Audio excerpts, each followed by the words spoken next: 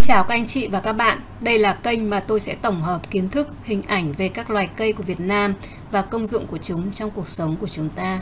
Hôm nay chúng ta sẽ tìm hiểu về cây lim, còn gọi là xích diệp mộc, cách mộc thuộc họ vàng. Đây là cây gỗ lớn cao trên 30 mét, thân thẳng, tròn, gốc có bạnh nhỏ, vỏ màu nâu có nhiều nốt sần màu nâu nhạt, sau bong mảng hoặc vẩy lớn, lớp vỏ trong màu nâu đỏ, nếu cây mọc lẻ, thường phân cành thấp, cành non màu lục.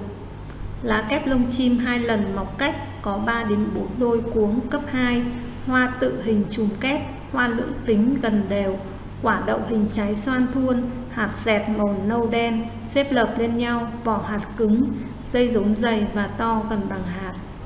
Cây mọc chậm là cây ưa sáng nhưng lại chịu bóng khi còn nhỏ, phân bố trên đất sét hoặc đất sét pha sâu dày khí hậu nhiệt đới mưa mùa mưa có khả năng tái sinh hạt và trồi tốt, phân bố chủ yếu ở Việt Nam, Đài Loan và Trung Quốc. Cây lim được sử dụng để lấy gỗ, làm bóng mát, nghiên cứu khoa học, vỏ cây cũng chứa nhiều chất chát dùng để nhuộm. Nếu thấy nội dung này là hữu ích, thì nhờ anh chị chia sẻ cho bạn bè và người thân của mình và ấn thêm vào nút like để giúp cho kênh có nhiều người biết hơn nữa.